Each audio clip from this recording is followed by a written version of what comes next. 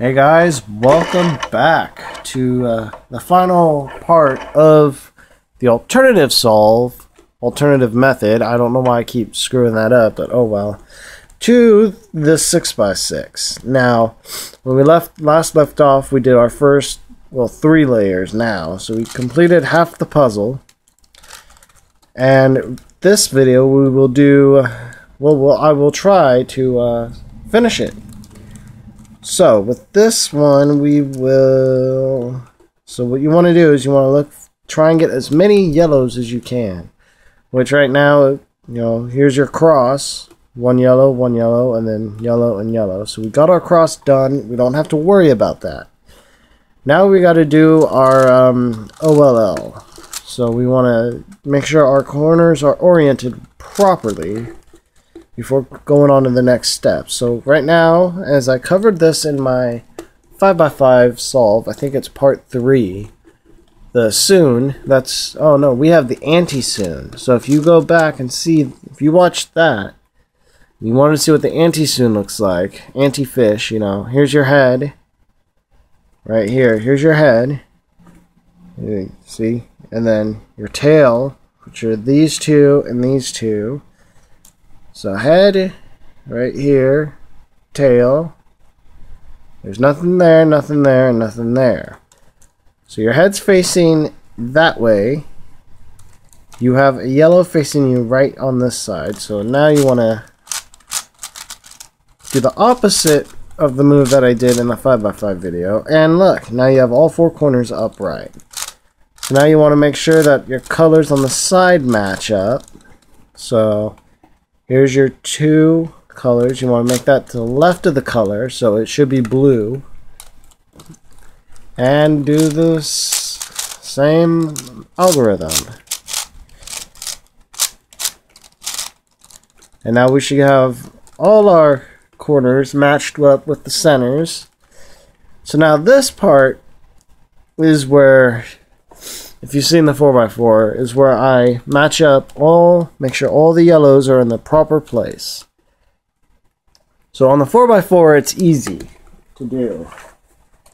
Because you only have to worry about two edges, really. On the 6x6, you have to worry about four edges. And eventually I will get to the 8x8. That's not in this video, though. Besides, it's halfway across the room and I don't feel like getting up. Lazy. Anyways. And look, it's the 5x5.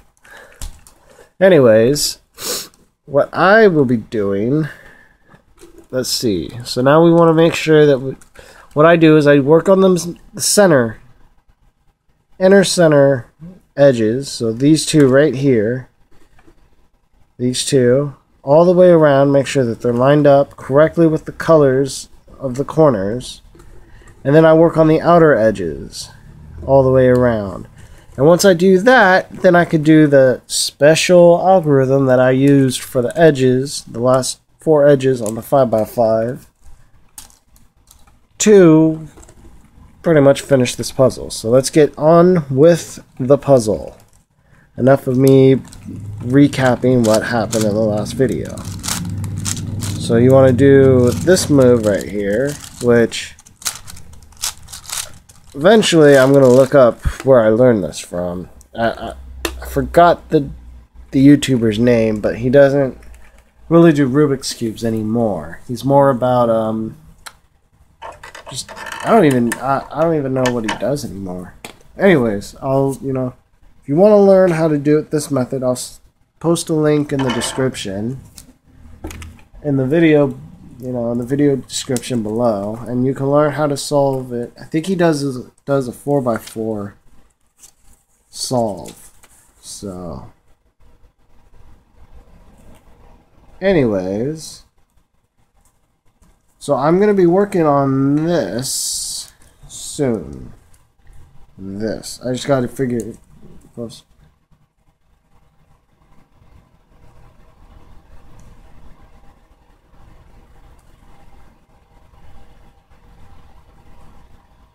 Uh, yeah. So, while I figure something out real quick, why don't you listen to a drum roll? Thank you. And a fart. Alright. I probably could have paused the video, but oh well. I hope you guys enjoyed that little uh, sound machine area, you know, the little sound machine part. So now we're going to work on this two blue and yellow cubie edge. There we go. We just go back to what we did. As you can see, blue and yellow right there, right where it belongs. Magical, isn't it? So, um, ah. Oh, this is the catastrophe I was warning people about. The inner piece of it. So we just pull this out. I gotta look at the, uh, ugh, see if I can find it. Curse this puzzle! Oh, this is good. I don't even know where it went. Oh, wait, I see it. Ha ha! Found it. So, you know what? More other people might cut this out, but I'm going to leave this in. Oh, it messed up. Okay, come on. Great. This video is going to be really long. This might be a four-parter. This. Just... Really? Okay, come on.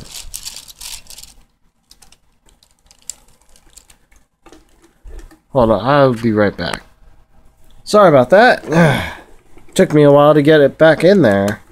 Okay, what is going on with this table? Oh, excuse me. Alright, so now we got that. Ugh. I don't even remember what I was doing. Okay. So, we wanted... Oh, the orange. Okay. Oh, that was frustrating. Took me a good minute to get that back in there. So, now, this might be a four-parter, as I have said. Alright, hold on. Just gotta adjust it so I can bring this back in. There we go. Much better. Okay. So, uh, this one is not in.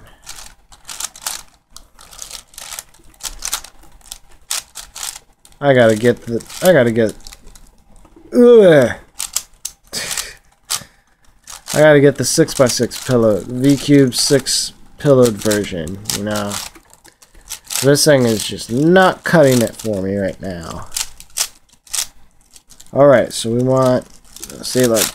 Center's misaligned. Okay. Now I'm to try and save these two the way they are by doing that. So that way I can get the green, knock out those, and um, where's the red? There it is. Yeah, this looks like it'll be a four-parter. Because I still gotta get, I still gotta go through the other method. And I think that, yep, okay. So now as you can see, I'll realign it all of the center edges are complete. So, just one. Sorry about that. Just had to do a little adjustment. Got my water. Anyways, um, so now we got to work on the outer edges. So yeah, this will definitely have to continue. I'm gonna try and get at least the yellow the top layer done. So right now I'm just kind of going through to speed through this. I don't want them to be any longer than what they have to be. Okay, aha.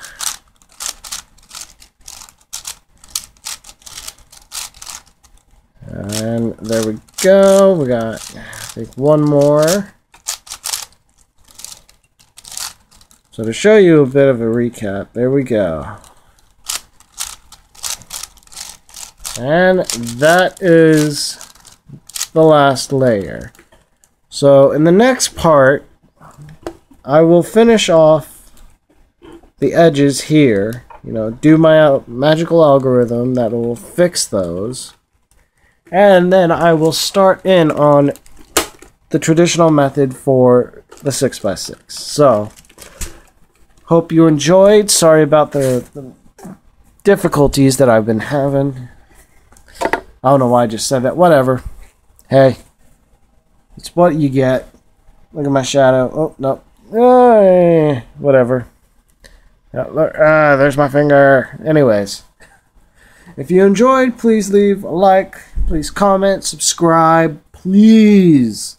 I cannot stress that enough. Subscribe. You know, I do, you know, every Sunday and Wednesday I will release a video for Larry's Corner.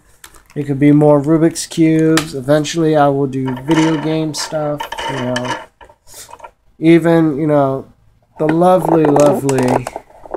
I might even do a little bit of uh oh wrong thing. I might even do a bit of movie reviews. As you can see, I have plenty. So I'll just go over my movies that I have. So Anyways, this is Larry from Incoherent Ramblings. Check out Incoherent Ramblings if you like podcasts. Please check out my 3x3, 2x2, 4x4, and 5x5 solve. If you enjoy that stuff, you know. Like, comment, subscribe. I cannot stress that enough. Thank you for watching. Hope you enjoyed. Love ya.